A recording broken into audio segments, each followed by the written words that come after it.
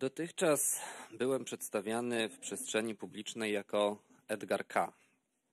Przestępca, może nawet kryminalista, reżyser i jednocześnie aktor afery wizowej. Narodowiec ze Świętokrzyskiego. Szanowni Państwo, nazywam się Edgar Kobos i dzisiaj pierwszy raz wyrażam zgodę na publikację mojego wizerunku.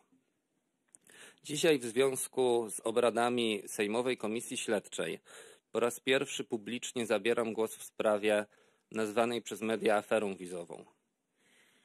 Dlatego, że uważam, że za pośrednictwem Sejmowej Komisji opinia publiczna powinna mieć możliwość poznania prawdy o tej aferze. Prawdę o aferze, która według niektórych polityków nie była nawet aferką. Ta afera jest jednak faktem, a ja, ja jestem jedną z wielu osób, które w niej uczestniczyły, a jednocześnie jedną z niewielu, a być może nawet jedyną, która obecnie ma odwagę przyznać się do swoich działań i spróbować zmierzyć się z ich konsekwencjami. Przyznałem się przecież do większej liczby przestępstw niż te, które początkowo zarzucała mi prokuratura. Chcę spróbować naprawić swoje błędy. Chcę mówić, ale dotychczas nie miałem do kogo. Jestem gotowy dzielić się swoją wiedzą z organami ścigania, tak naprawdę ze wszystkimi, którzy będą chcieli mnie wysłuchać. Z kolei do dnia dzisiejszego organy ścigania nie zapewniły mi bezpiecznych warunków, abym mógł powiedzieć o wszystkim, co wiem na ten temat. Pomimo tego, że zarówno ja, jak i moi pełnomocnicy wielokrotnie o to prosiliśmy.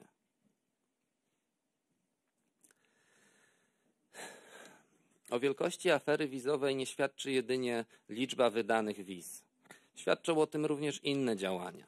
Na przykład działania legislacyjne podejmowane przez Piotra Wawrzyka, albo tworzenie nowych instytucji, których celem było jedynie zwiększenie, ale znaczące zwiększenie możliwości tego, jak wiele wiz Polska będzie w stanie wydać. Ja posiadam wiedzę na temat kulisów procesu powołania Centrum Decyzji Wizowych w Łodzi, a także Centrum Informacji Konsularnej w Kielcach. Te dwie instytucje zostały umieszczone w miastach, które są okręgami wyborczymi dwóch polityków, którzy mieli kluczowe znaczenie dla ich utworzenia, to znaczy byłego już ministra spraw zagranicznych Zbigniewa Rała i jego zastępcę Piotra Wawrzyka. Mam również wiedzę odnośnie metod i sposobów, do jakich, z jakich korzystali ludzie zatrudnieni w centrali Ministerstwa Spraw Zagranicznych, aby wymuszać wydawanie wiz na konsulach rozsianych po, w placówkach dyplomatycznych tak naprawdę po całym świecie. I ci ludzie podlegali pod Zbigniewa Rała i Piotra Wawrzyka.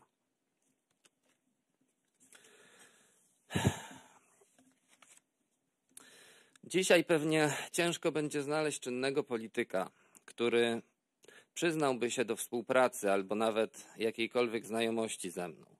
Ale pomimo tego przecież nie ulega wątpliwości, że przez wiele lat byłem człowiekiem partii. Takim typowym politycznym wychowankiem obozu Zjednoczonej Prawicy. Młodzikiem, którego sprawczość kończyła się w, rzeczywistości tam, dokąd sięgała sprawczość jego patronów politycznych.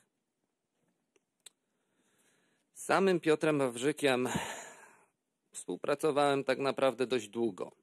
Wiedzą o tym chociażby mieszkańcy regionu świętokrzyskiego, z którego obaj przecież pochodzimy.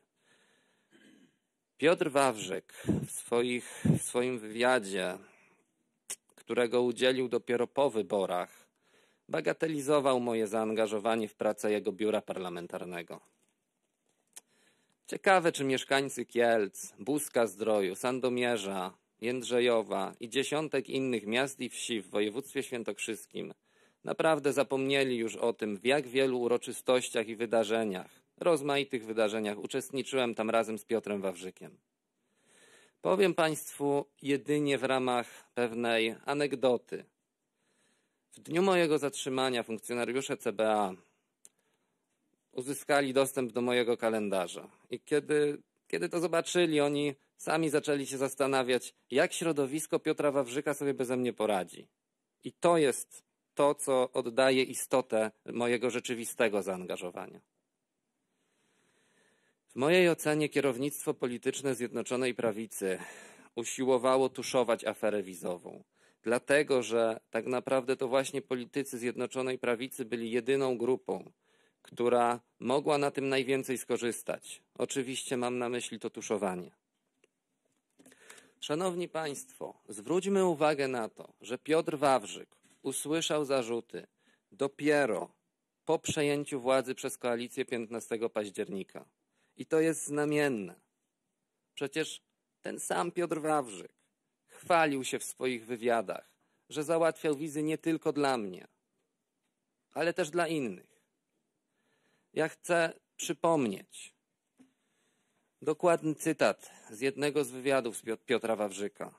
To znaczy, w tej chwili cytuję, pan Edgar nie był jedynym. Piotr Wawrzyk wypowiedział te słowa w listopadzie ubiegłego roku w wywiadzie dla Radia Z.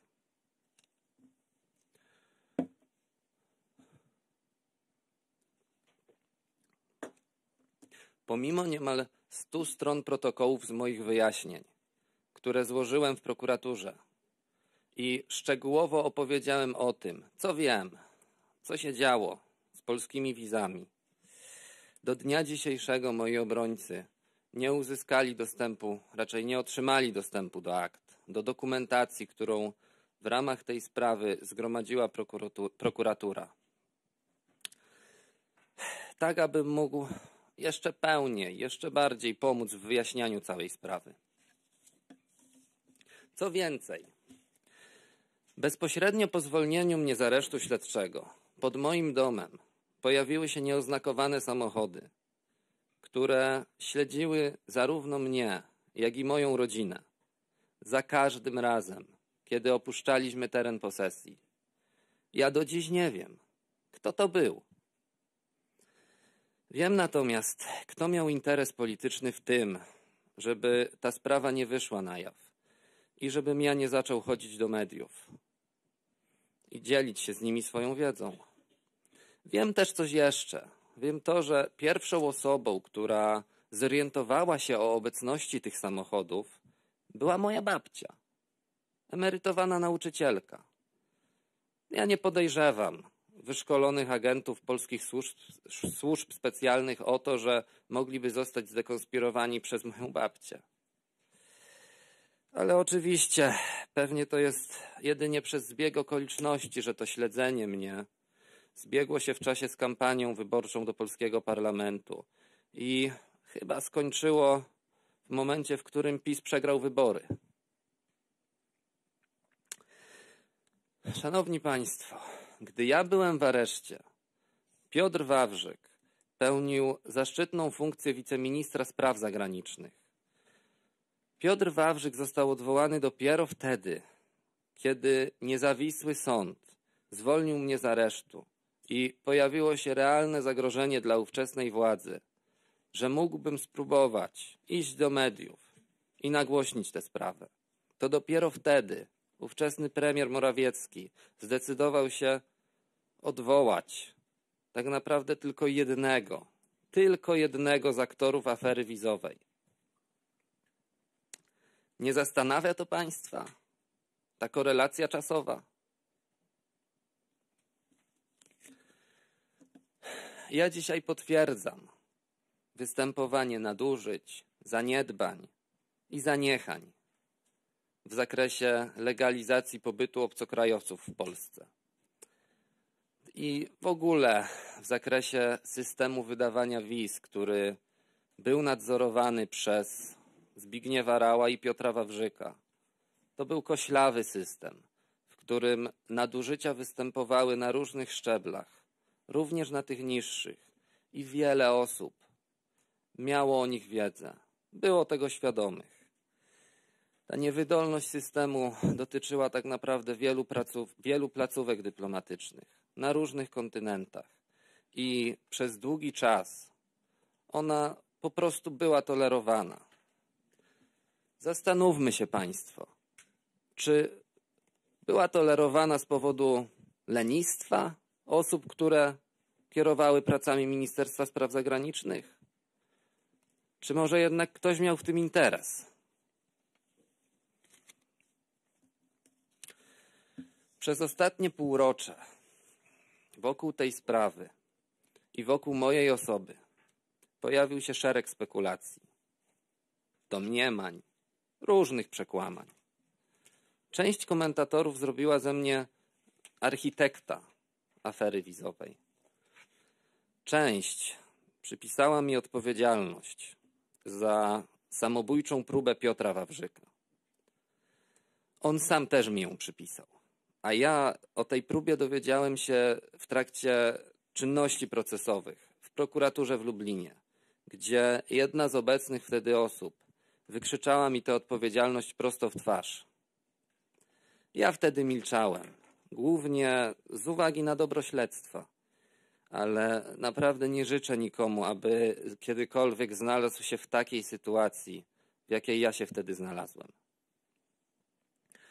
Liczę zatem, że nowy prokurator krajowy, który, o ile mi wiadomo, zostanie bądź już został dziś wyłoniony, będzie osobą otwartą, odpowiedzialną, po prostu uczciwą. Dlatego w tym miejscu po raz kolejny deklaruję wolę współpracy i chęć pomocy w rzeczywistym wyjaśnieniu całej sprawy. Może się komuś wydawać, że bez potrzeby przyszedłem dzisiaj na posiedzenie komisji z pełnomocników.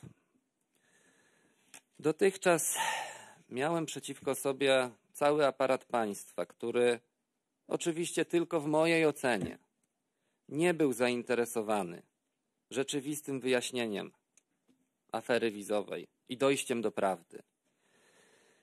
Ja już naprawdę nie mam siły dalej walczyć w pojedynkę, a raczej bronić się.